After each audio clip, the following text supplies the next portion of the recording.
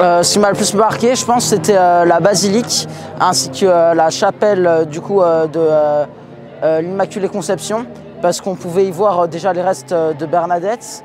On a pu aussi redécouvrir les mystères du Christ et de Marie, et bien sûr tous les remerciements pour Marie. Puis l'endroit est magnifique et on peut ici recueillir. Les messes sont bien faites et sont vraiment bien à écouter. Aussi la décoration est magnifique.